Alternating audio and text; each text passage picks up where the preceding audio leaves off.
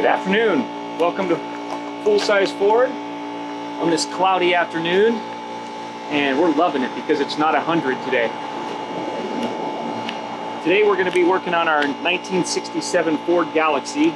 Uh, a little trouble getting this one on the trailer when we bought it because the uh, right front wheel is completely locked up. So we are going to try to, uh, to free that up today and get this car to roll.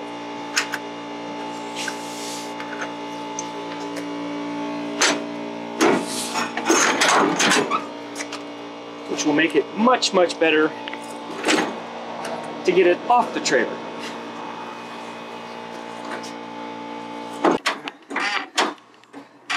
I mean, that's a that's a bias ply right there. Look at that baby. She's still got tread on her.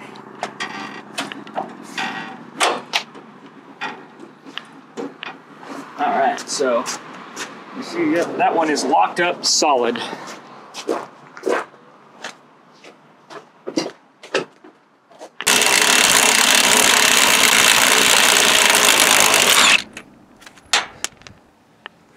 All right. Yeah, look at that there. Somebody wasn't real well versed in balancing here. Probably could have had a one ounce or ounce and a quarter right there and eliminated having two weights on there. So, this car came from uh, Lewiston, Idaho, so a little warmer down there, so we might have some, maybe a black witter, but I don't see one, which is good. See, we got a little, got a little wasp nestage there. Uh, definitely got some uh, another some more wasp. Got a little mud dauber action there, but not too bad for critters. So now work starts on seeing if we can get this thing to free up. What we'll probably have to do is just break the pins on the back and pull the and pull the shoes with it, with all the springs and everything. Alright. Okay, so first thing I'm going to just try a little taparoo here and see if we can get something to free up, which this is the, I'm going to try this even though I know that there's no chance that it's going to work, but, you know, you got to try.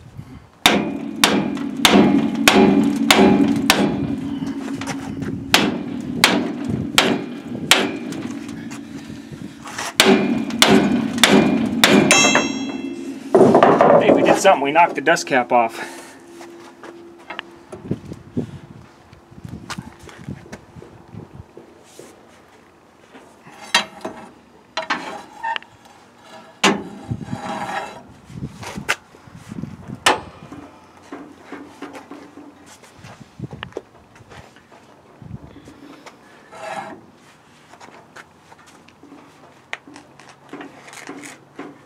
That one stuck pretty good.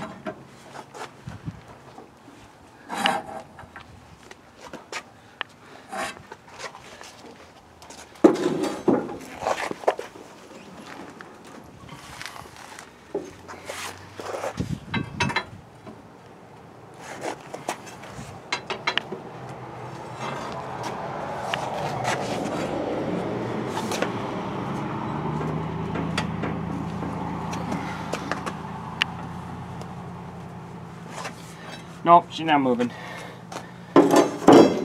All right. So now, what we're gonna do is we'll pull the we'll pull the bearings and see if we just can't pull the whole thing with the shoes and all.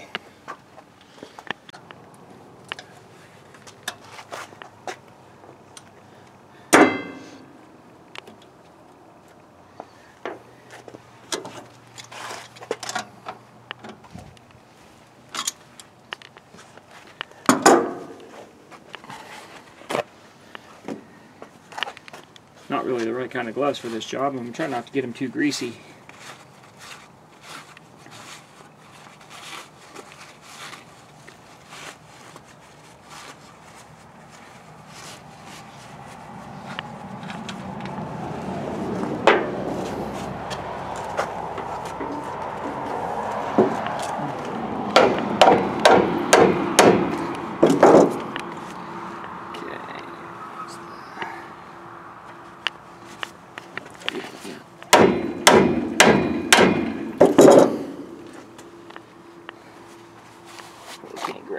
Gloves, but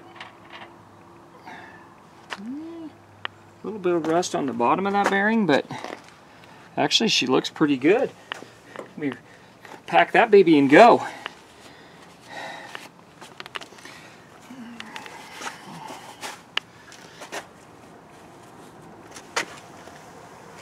A little bit of rust on the race there, but see the you can see the drum right there is cracked right here. Somebody trying to get this loose already, probably.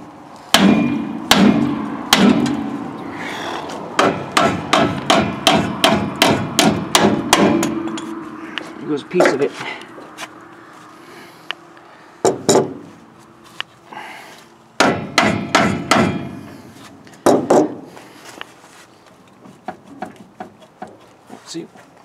Got it loose.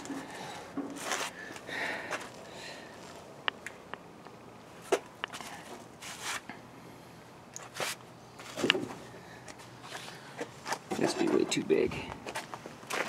Pry in there. So, what I'm gonna do is I'm gonna get a chisel and I'm gonna knock the back sides of these rivets on these brake nails off. Go get some more tools.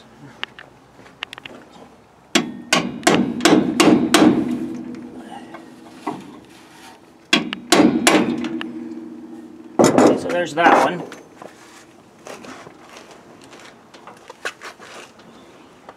Let's cruise it over this way and see if we can do this one. And all I did was pop the back of that nail off right there. Because that's what holds the shoes the drum and I got a feeling that that's what's going on is the drums are rusted to the hub. Or to the the shoes are rusted to the drum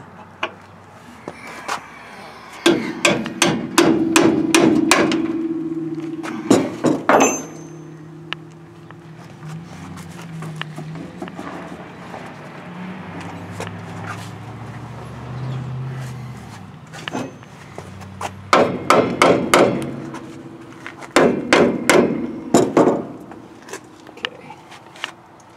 We'll go get a long screwdriver.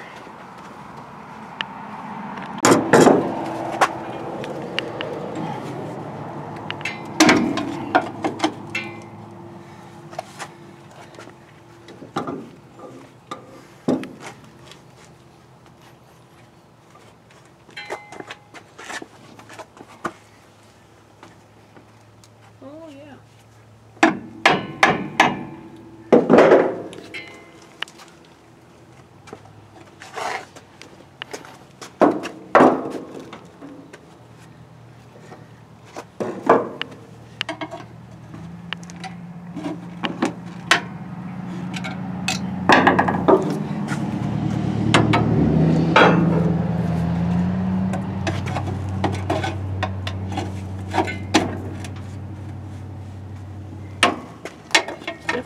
Dirt in there, huh?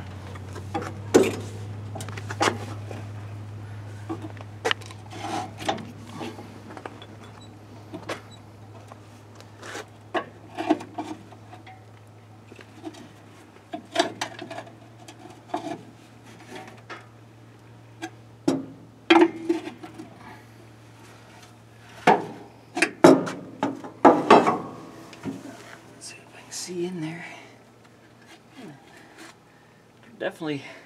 There were mud daubers living in there. I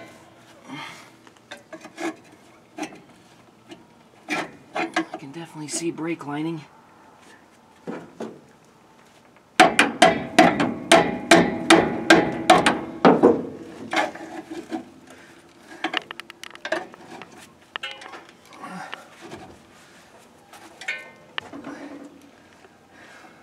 Hear the springs in there?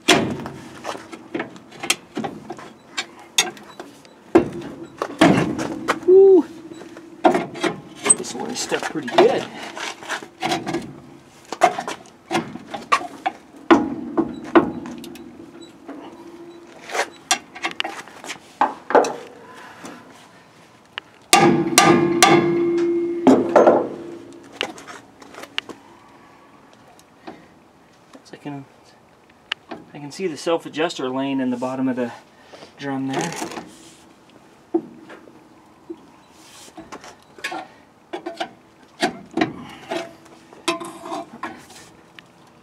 Still no chance of it. Maybe spinning. Nope.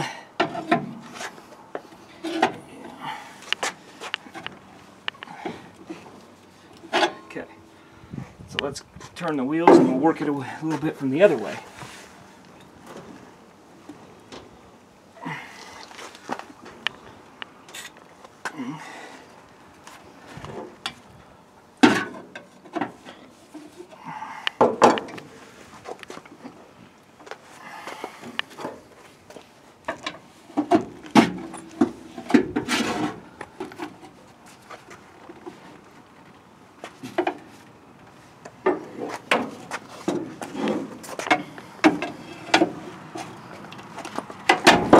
Watch out.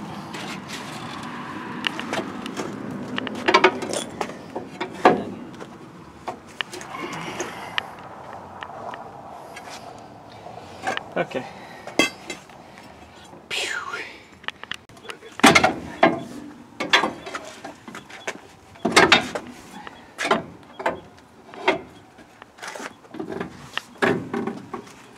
Look, we got him loose from the shoes, Gail.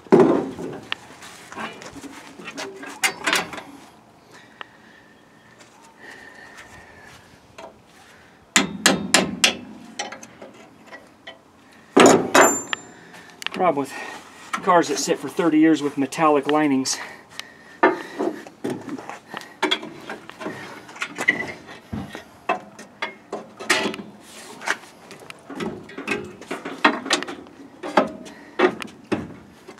The shoes actually coming from the drum or is it just hold the pins through the... I already, I already chiseled the ends of the pins off.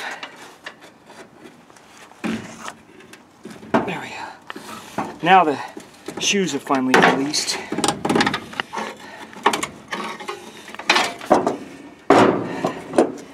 There it is. Complete with a mud dauber nest in there and everything.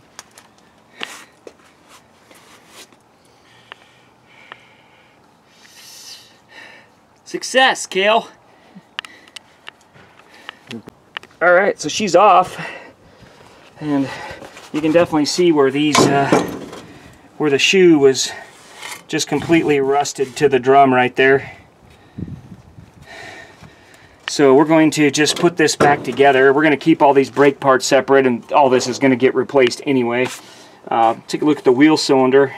If you remember the video we did on the 61 Starliner, how they were just corroded. These ones don't look as bad, but definitely going to have to be replaced. I'm sure those are rusted. Those pistons are rusted in place. So, at any rate, at least we'll get it back together now, and at least it will at least it will roll off the trailer. All right. So we just left the brake parts out of it for right now because gonna have to get all new stuff anyway. But at least we've got the uh, drum spinning bearings are back in, so at least we can roll it now and get it off the trailer and uh, go on to the next project with it. Alright, so we got that wheel turning, and so now we it's time to see if the motor will actually turn. Well, this one's going to be very difficult to get a, something on because of this clutch fan. That's in the way. Uh, I don't even know if I can get in there on this one. might be easier to take the fan off actually to be able to get to this one to see if this is going to spin. I don't think. Let's see if we can just...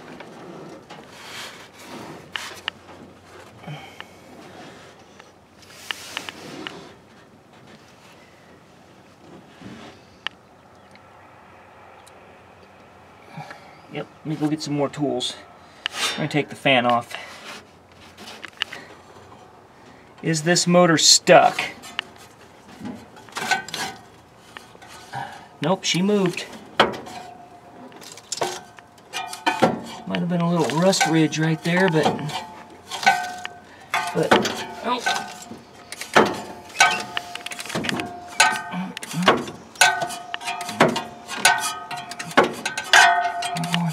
We're going around 360 degrees right there.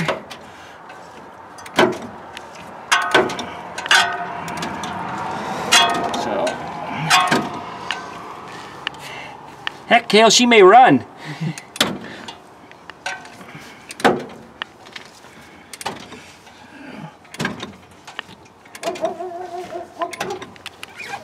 All right. So we know that. So we know the motor's not stuck.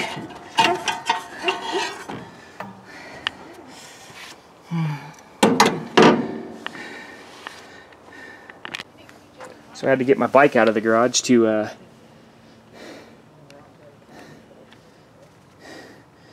get to my shop vac, and uh, well, looks like I got a little passenger. Hey there, little buddy.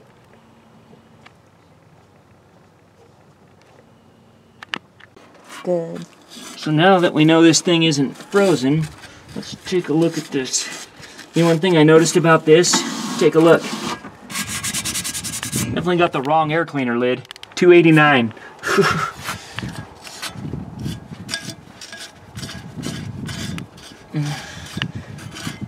this is definitely an FE. Definitely not a small block.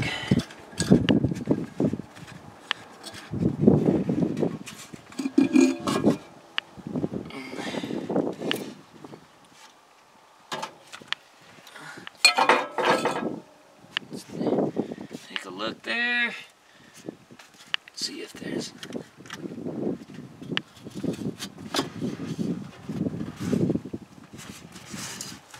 Pull this breather off. We can pull this off. And we can take a look at. Definitely had something living in the motor right there. All kinds of stuff in the air cleaner here. This was like a regular Taj Mahal. So let's look at some clues here see this carburetor, one thing we notice right away on the carburetor, the tag on it. You notice that's, you see that right there?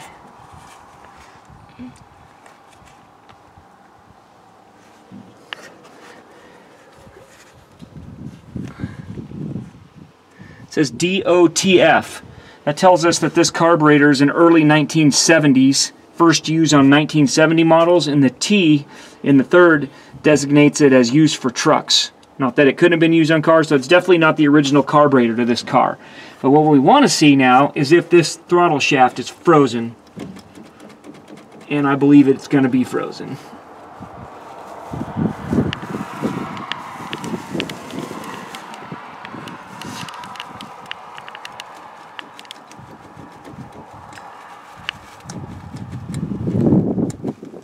Yep, so definitely going to need some work on the carburetor.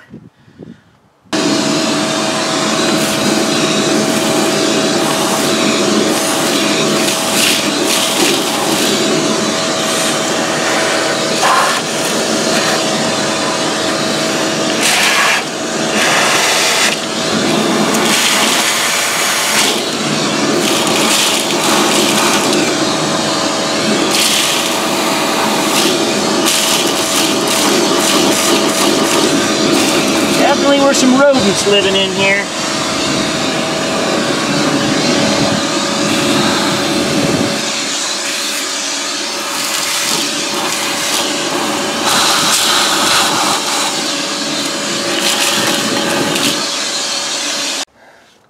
So we're getting this thing cleaned off here.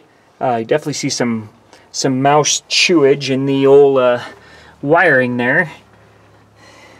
And kind of got this intake uncovered. Like say this is a this is a two barrel car. Um, and one thing I noticed on there, it started wondering if this is the original engine or not. But I don't know if you'll be able to see it on this. Uh, no, but it's a C7TE intake, which would be a uh, 67 for the 67 model year, but would be designed for a truck. Not that they couldn't have used that on a car. So I started to think, oh, maybe somebody swapped the motor. Um, but looking at the date code, we have a 7C13 date code on that intake. And the build date on the car is a 24D, which would be a uh, April 24th. So I mean the date the date coding is right on this. So this very well could be the original motor. Um, you know, and the very fact it still has all the air conditioning stuff on it. Sometimes when people swap a motor, if that doesn't work, they may not put it back on or or whatever. But um, so I'm still optimistic this is the original engine on the car. All right, so let's take a look and see what we got for fluidage. It's not even fully a quart low. Does smell a little like gasoline. Again, have no idea when's the last time this car was run. But, just didn't see any signs of water. Let's take a look at the radiator here. Got a feeling we're not gonna... You know, it's kind of moist right there, but I don't see any water in it. Not up at the top anyway. But there still could be some in. I'm sure if I took a hose off it would make a mess. Always the story of my life. So, anyway, alright. So we do have, uh, we really wanted to get this car started to see if we could start it and uh, run it, but that carburetor is not very good. But we do actually have somebody that's coming to look at this car tomorrow that might be interested in purchasing it. So uh, we may not get to do anything more in the future on it, but uh, if we do, you'll see it right here on Full Size Ford.